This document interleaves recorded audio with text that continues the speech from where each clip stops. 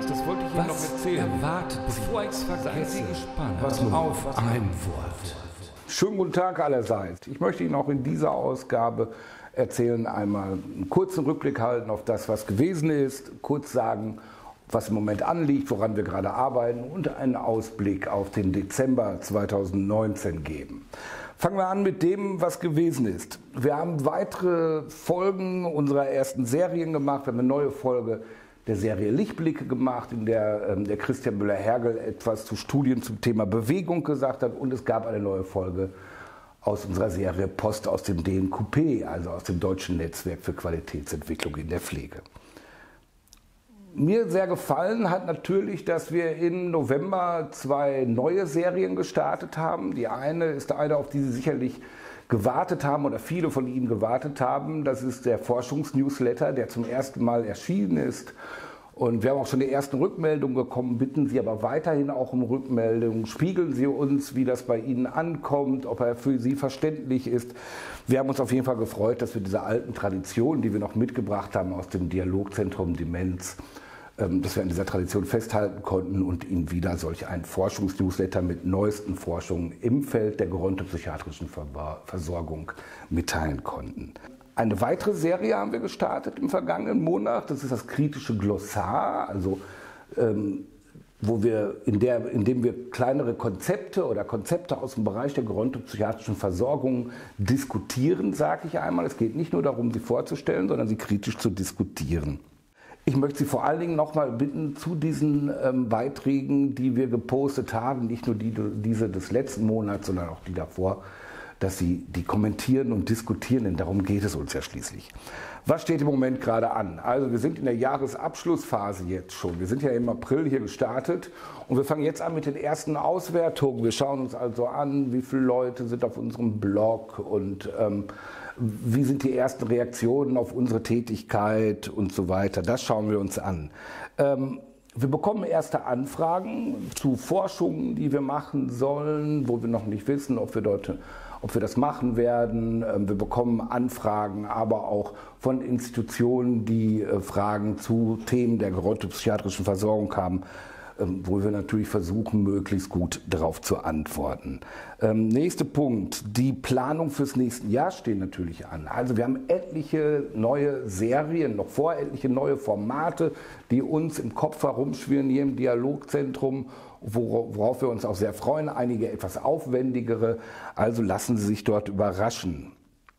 Ähm, Im Moment arbeite ich persönlich gerade an dem Beitrag, der demnächst erscheinen wird, zur Möglichkeit der Förderung des Dialogzentrums. Ich hatte es Ihnen ja schon einmal im anderen Beitrag mitgeteilt, dass das Dialogzentrum, das derzeit noch vom DNKP ähm, komplett gefördert wird, dass man sozusagen auch dem Dialogzentrum spenden kann, dass man das Dialogzentrum fördern kann. Wie genau das geschehen kann, wenn man das möchte, damit wir weiterhin unabhängig hier unsere Arbeit tun können. Wir, da möchte ich schon mal, jetzt schon mal darauf hinweisen, wir arbeiten natürlich schon an den Inhalten unserer ersten Dialogkonferenz. Auch das hatte ich Ihnen bereits auf dem Blog mitgeteilt, also ein Save the Date gemacht. Ich wiederhole sie aber gern noch einmal. Am 26. Mai des nächsten Jahres macht das Dialogzentrum Leben im Alter hier an der Hochschule Osnabrück seine erste Dialogkonferenz. Und das Thema dieser Konferenz, dieser Tagung wird das, das gerontopsychiatrische Team selbst sein. Also welchen Einfluss hat, auf, hat das Team auf die Versorgung? Welchen Einfluss haben Streitigkeiten im Team? Sind Teams in der, in der gerontopsychiatrischen Versorgung, müssen die unterschiedlich aufgebaut sein, je nach Setting und so weiter und so weiter. Wir diskutieren hier jetzt gerade die Inhalte und fragen auch schon die ersten Referenten an. So, was passiert im Monat Dezember? Im Dezember wird es natürlich einen neuen Brief, neue Post aus dem DNQP geben. Da geht es darum, wie denn die Expertenstandards eigentlich gemacht werden, wie sie entstehen und wer sie macht. Dann wird es eine neue Folge unseres Haustheaters geben. Also Christian Müller-Hergel und ich ähm, diskutieren ja in der Serie Haustheater bestimmte na, Thesen, bestimmte Probleme, bestimmte Gegebenheiten in der gerontopsychiatrischen Versorgung.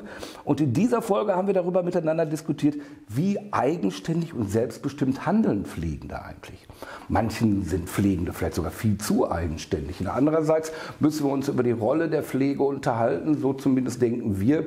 Und was kann Pflege, was kann Pflege nicht und was kann Pflege übernehmen und welche Rolle in der Versorgung von Menschen muss oder sollte die Pflege stehen.